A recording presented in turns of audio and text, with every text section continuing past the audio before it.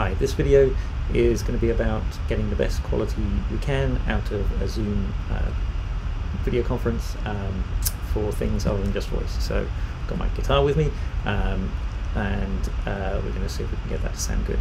I'm currently connected to the meeting by my iPhone, um, so let's see what that sounds like.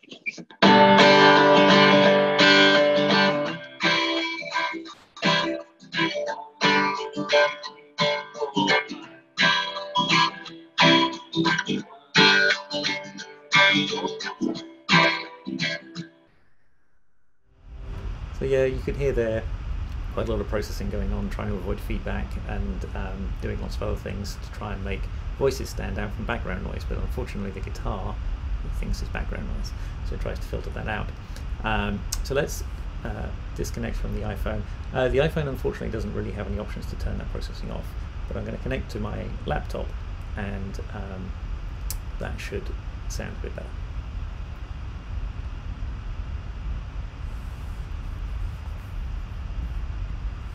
Okay, so now we're connected to my laptop uh, using the, uh, this is the Mac uh, client, but um, it's pretty much the same on PC laptops as well.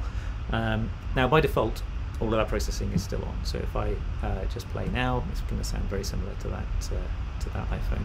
Yeah. Uh, let's see what we can do about that. Um, in this little menu down here in the bottom left next to the mute microphone, um, there's a thing called audio settings. So let's open that up. So right now we are um, completely um, uh, as default. Um, so there's a couple of settings we might want to try and change. The first is automatically adjust microphone volume. So that just tries to keep um, things audible, but uh, if you're playing music, that tends to be kind of full of loud bits and quiet bits, and you don't want them flattened out. So uh, let's do that. We'll turn up the um, volume a little so that we uh, can still be heard. And then in this advanced section down here, there's an option that says show in meeting option to enable original sound from microphone. So we click that and then up here you may have noticed this little button appears. You can turn it off and turn it on again. We get this button up here that says turn on original sound. So we will do that and what that does is it disables most of that uh, processing um, so that uh, the sound that comes into the microphone is pretty much what's transmitted over the internet. So let's see how that sounds.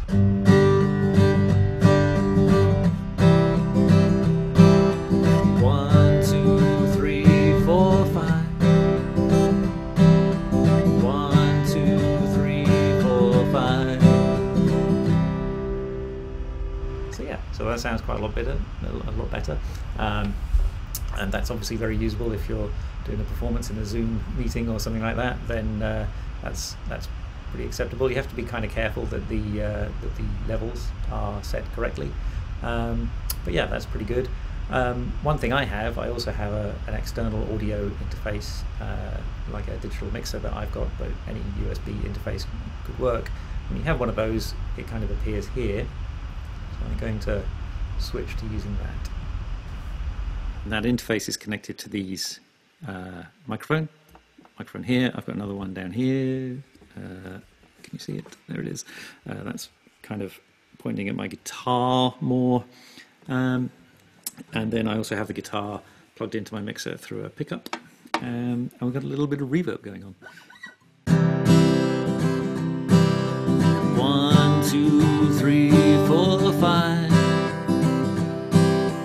One, two, three, four, five. So that uh, sounds probably a little bit better than the microphones as well, or the built-in microphones. Okay, thanks very much.